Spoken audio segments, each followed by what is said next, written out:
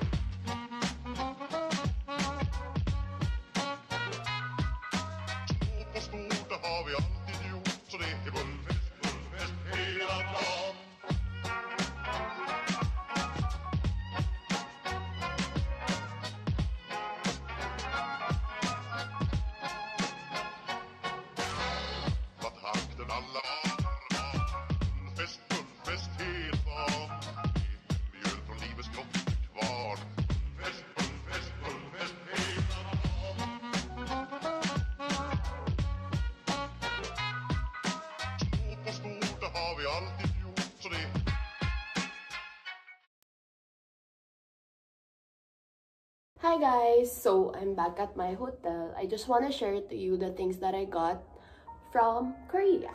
So, first things first, I want to start with this winter coat. Ayan. So, I got this winter coat at Hongdae. So, by the way guys, all the things that I got is I got it from Hongdae. So, I just realized that it's better to shop at Hongdae than Myeongdong Myeongdong is for tourists. It's nice for photos. Actually, Korea is really nice for photos and everything. Maganda ta sa Korea. But if you're going to Myeongdong, um, the prices ng mga items or the things they sell there are more expensive compared to Hongdae because Hongdae is where Koreans really shop for clothing and I I asked Korean friends, they were telling me it's better to shop at Hongdae because there's a lot of selection. It's the same as Myeongdong and the prices are cheaper. So for this one, this coat, I got this for around 49,000 won. 49,000 won. Um, hindi siya ganun kakapal, but it's nice for photos and if you're going for a country wherein is like 20 degrees Celsius, yon pwede siya. And, ayan, it's really nice. So, next one is this bucket hat that I got at Hongdae. So, I realized at Hongdae, there's a lot of thrift shops na nagsisell ng vintage pieces like Gucci, Burberry, um, Lacoste, um, Chanel, LV, there's a lot of items you can buy with those brands sa mga vintage stores there. And this one is Burberry print and it's a Burberry bucket hat that I got for 95,000 won. So it's like around 3,000 uh no, it's like around 4,200 pesos. Pero nakatawad ako kasi I paid in cash. So I only got this for around um 85,000 won and it's around 3,700 pesos. Not bad, guys. And para, para siyang reversible. Ayan. So, it's so nice. Here you go. Burberry. I'm not sure kung original to or what, pero I asked the seller. Sabi niya original daw to. And he's telling me kung ano yung original at ano yung fake or replica na binibenta niya. So, not bad, right? So nice. So, next one, uh, punta muna tayo pala sa lahat ng mga clothes na nabili ko. So, this one, I got this parang sweater na pang inner. Hindi ko alam paano siya explain. But, I got this from Playground um, for, I don't know how much this is, pero nakasale siya. Original price was 12,900 won, but it is 30% sale. So, kayo na ng competition. So, it's so nice. For inner, it's not color black. It's our like brown, dark brown. So, so nice for layering. Maganda siya. And I like the fit as well. So, yep. So, next one is this one. This, um, button down na long sleeves. So, I got this for 15,900 won pero it's on 50% sale. So, kayo na ulit gumawa ng computation. So, it's really nice. Parang ready to wear lang siya, wash and wear ganun. I really like that and especially if I travel so I need to wear business attire. So, it's so nice. And I also got a belt na ma, ano siya, ayan, ang dami niyang butas guys.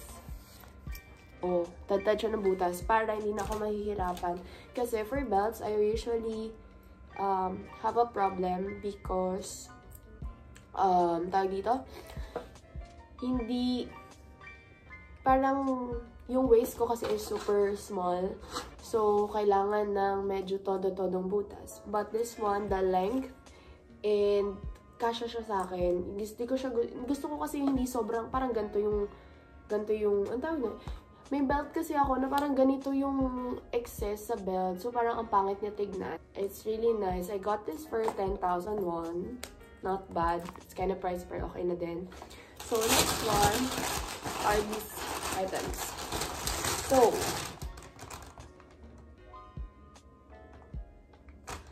first one is this sweater. Hindi ko na pinapakita yung mukha ko. This sweater, it's so nice. And I like the details sa baba. See? So nice. And I like the color. It's thick. I forgot the price. I think uh, this one is 10,000 won. Ayan. And the last item for the clothes is itong winter jacket na to. Ayan. I only got this for 29,000 won, by the way. Not bad for a winter jacket. It's around 50 reals ata. Basta do the competition. I'll put the competition date here. Ano Nakain akong ano. Anyway, I like this jacket because, ano siya, um, ang lambot niya. Tapos makapal siya. And also, it has the detail nitong yellow sa loob. It's not too plain. It's not too simple. It's really classy. And I really like when I wear sweaters. Yung para medyo baggy siya. Ganun yung mga gusto kong type ng sweater, uh, sweater or jackets. I don't know. I just like big clothes.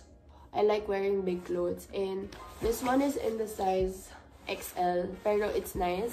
Try ko nga i-fit. Actually, na-fit ko siya kanina eh. Yung sa video, na-fit ko siya. So, ipakita ko na lang ulit, no?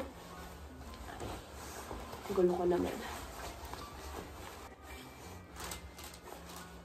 alam mo yung feeling na parang even though you don't really need it as of the moment, pero gusto mo lang siyang bilhin kasi just in case na kailanganin mo siya, meron ka na nun. Ayun. That's how I spent. Doon po, ayun yung nagiging problem ko eh. Kasi, lagi ko iniisip na kakailanganin ko siya, pero hindi, hindi ko pala siya kailangan. Pero sana naman kailanganin ko to, di ba? Papagalitan na naman ako ng nanay ko. Anyways, 29,001 guys. So, let's move to the items that I got for skincare. So, I got face mask. Actually, madam, meron, last flight ko sa Korea, meron pa akong mga face mask. Pero, um, hindi ko siya nagamit. Pero bumili na lang ako because I like this brand. So, this is Mediheal. Um, I really like this face mask. So, ayan, I got three.